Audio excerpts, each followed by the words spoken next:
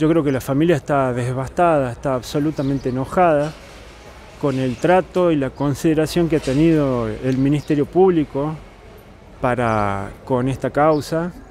y sobre todo la opinión que, ha manifestado el doctor Mauvecín respecto a la performance que ha tenido el fiscal Laureano Palacio en esta investigación, que nos ha dejado un expediente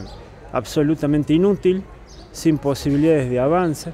De hecho, hoy estamos con cero avance investigativo. Eh,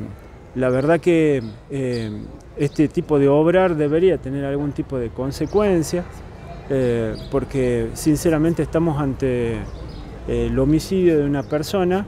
al cual se ha buscado, entiendo, entiende la familia y entiende quién le habla, por todos los medios de,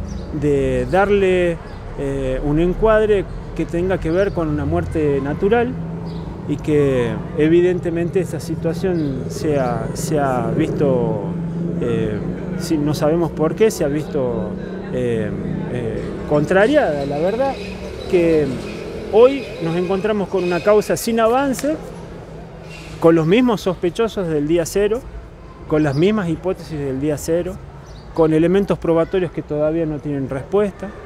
han cambiado, tres, pasamos de tener un fiscal a tener tres, a volver a tener uno. Los resultados siguen siendo lo mismo, la situación de la causa sigue siendo exactamente la misma. No tenemos detenido, no tenemos sospecha cierta, no tenemos avance concreto.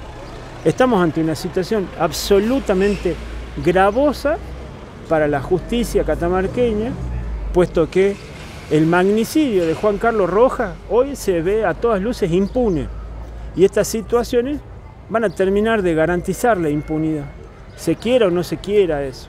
Porque si esto no trae ningún tipo de consecuencia, si los fiscales van a poder obrar como se actuó, si la policía va a poder hacer lo que hizo sin ningún tipo de, responsabilidad y sin ningún tipo de rendición, bueno, estamos librados los catamarqueños a la buena de Dios. Doctor, en su vasta trayectoria como abogado, ¿recuerda algún caso que haya tenido esta, repercusión y esta manera de llevarse a cabo? La verdad que no. Eh, creo que estamos ante una situación enigmática. La verdad que en lo personal a mí me genera mucha responsabilidad y mucha preocupación que ante este hecho, que se va probablemente se va a hablar bastante tiempo y esperemos que sí, que se hable, que no se encubra, que no se, no se oculte, que no se olvide. Eh, eh,